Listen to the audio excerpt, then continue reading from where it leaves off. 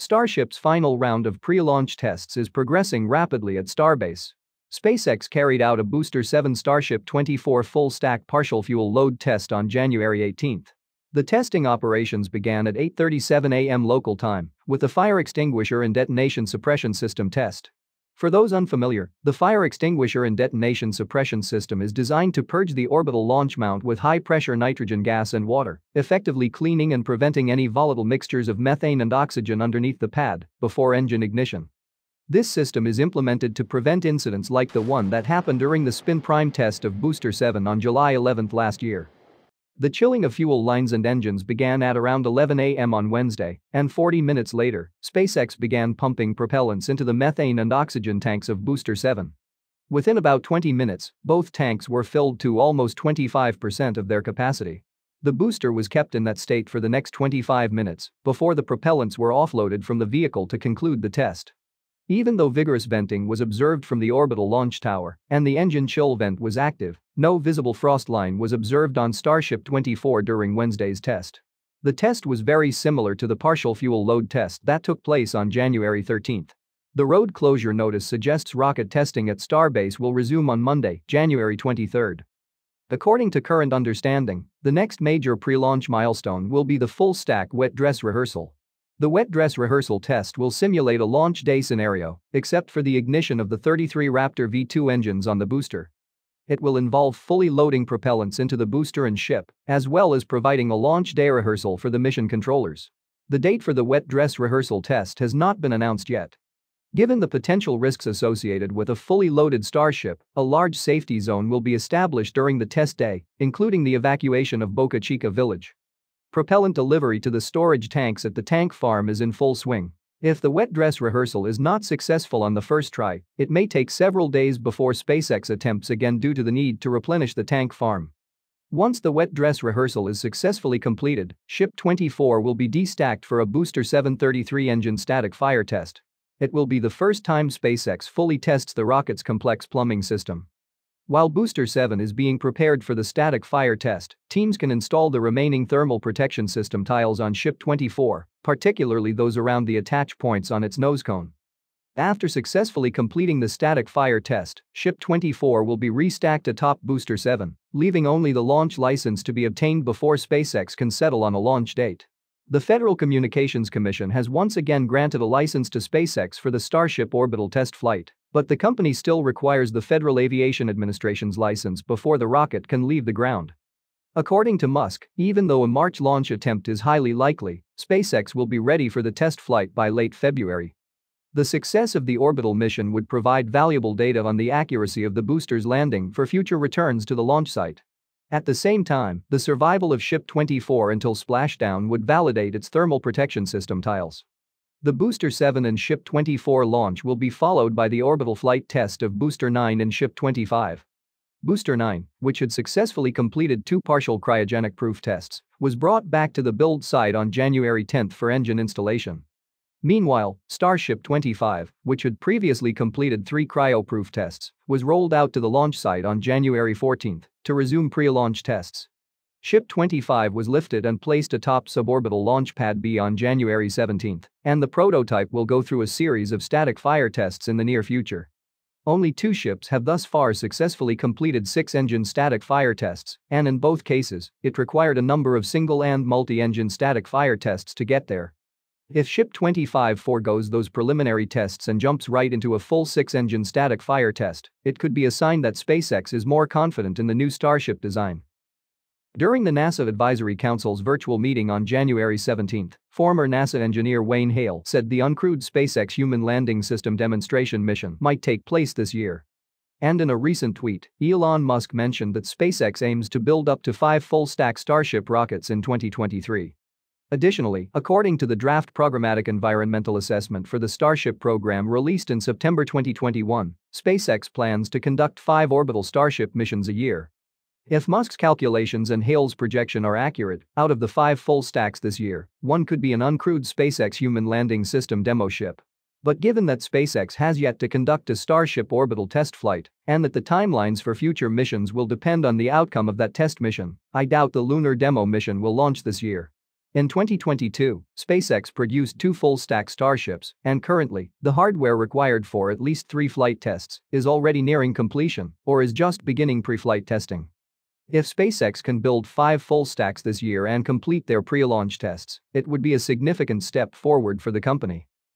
Starship 27 stacking operations have already begun inside the high bay at Starbase build site. Meanwhile, Starship 22, which has been on display at the Rocket Garden for the past several months, is now being scrapped by SpaceX. After removing one of the aft flaps and the hydraulic power unit, the prototype was moved into the high bay on Tuesday evening to disassemble it in the reverse order of assembly. Super Heavy Booster 8 was moved from the Rocket Garden to the Mega Bay on Wednesday evening. On Friday morning, the prototype was cut in half, further dismantling will take place over the coming days. Only Super Heavy Booster 4, Starship serial number 15, and Starship 20 are now on display in the Rocket Garden. A Starlink satellite dispenser was recently installed into the payload bay section of an unfinished Starship prototype. Although not confirmed, it is believed that the Starship that received the dispenser could be Ship 29 or 30. In the last update, I mentioned SpaceX's plan to build a launch mount water deluge system at Starbase.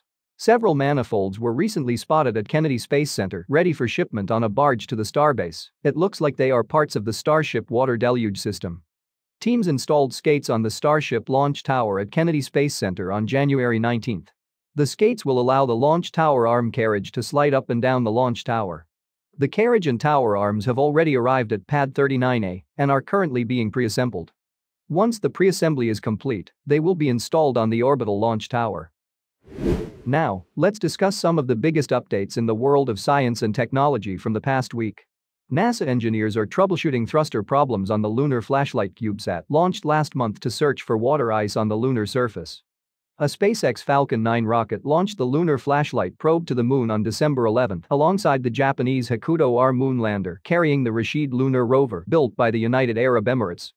In a recent mission update, NASA said that while the CubeSat is largely healthy and communicating with NASA's Deep Space Network, three of its four thrusters are underperforming or producing less thrust than expected.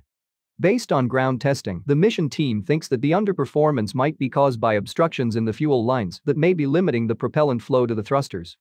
Lunar Flashlight uses a green fuel known as Advanced Spacecraft Energetic Non-Toxic, which is designed to be less toxic than the hydrazine propellant on most spacecraft. The spacecraft will need to perform daily trajectory correction maneuvers starting in early February to reach lunar orbit in April.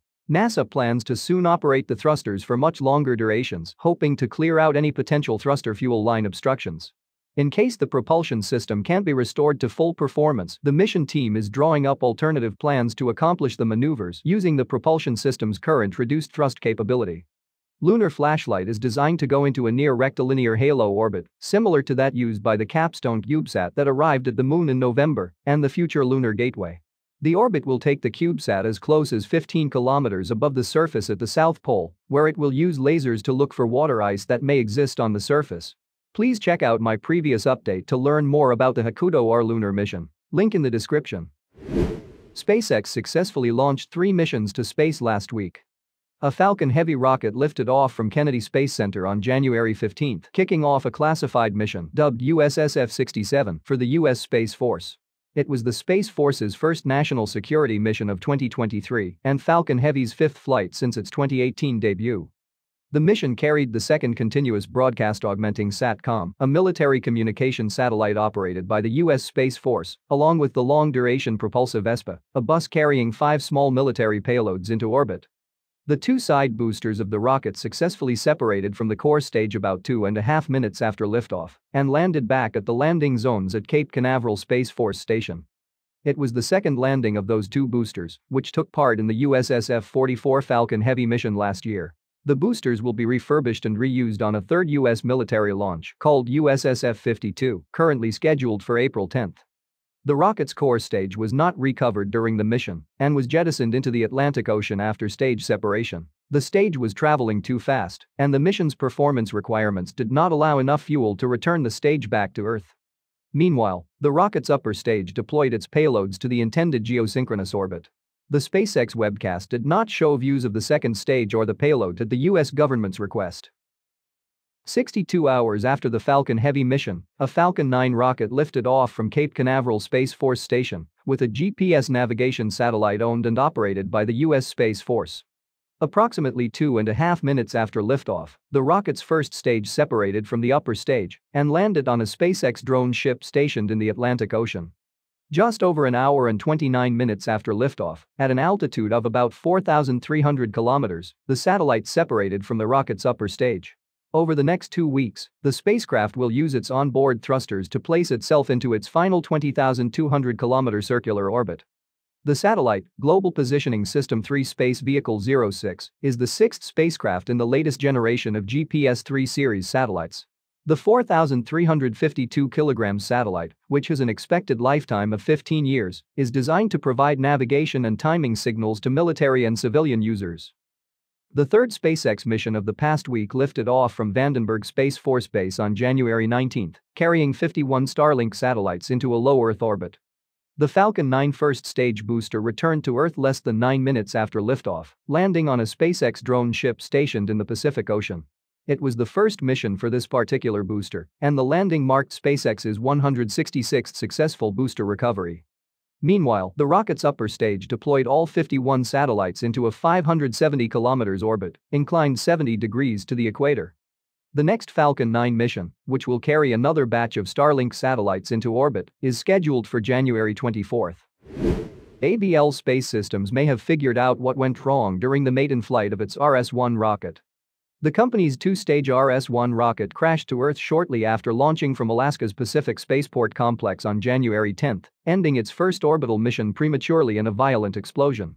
In a statement posted on social media on January 18, ABL stated that at around 10.87 seconds after liftoff, the rocket's first stage suffered a complete loss of power, which de-energized propellant valves, causing the nine first stage E2 engines to shut down at an altitude of 761 feet. Additionally, there was some visual evidence of fire or smoke near the vehicle quick disconnect in the engine bay after liftoff. The rocket, deprived of thrust, coasted upward for 2.63 seconds before falling, hitting the ground nearly 60 feet from where it lifted off. At the time of impact, the rocket still had about 95% of its propellant on board, creating an energetic explosion and overpressure wave that caused damage to nearby equipment and facilities.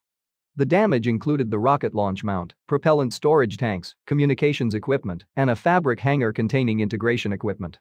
All the debris was contained within a pre-designated hazard zone, and no people were in the area at the time of impact. ABL is still investigating the failed launch under the supervision of the Federal Aviation Administration. The company did not specify when the investigation would be finished, but did state that it has already completed both stages for the second RS-1 rocket, which are ready for pre-launch testing. Thank you for joining me for this week's science news and Starship updates. If you enjoyed this video, please hit the like button, leave a comment, and share it with your friends. Also, don't forget to subscribe to the channel and turn on notifications so you never miss an episode.